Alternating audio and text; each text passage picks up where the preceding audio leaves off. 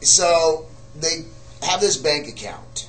All the money from taxes, all the different ways they steal from us, they put it in this bank account. Then they say this school over here has bills, so they pay the bills. And this office has bills, so they pay the bills.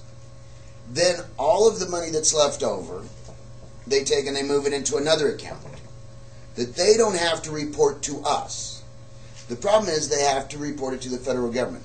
Walter Burien is the man that found that other account.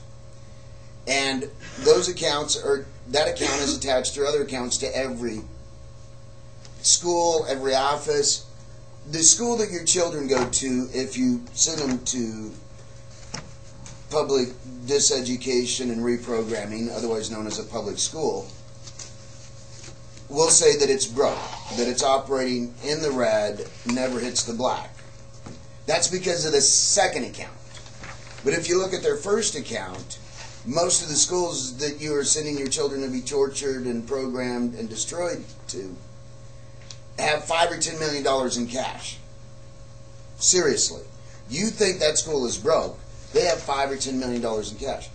Arizona, in that one account that they don't report to us, take a guess how much is in that account. Somebody give me a guess. Twenty million. Two billion. Two billion. $32 billion. Good.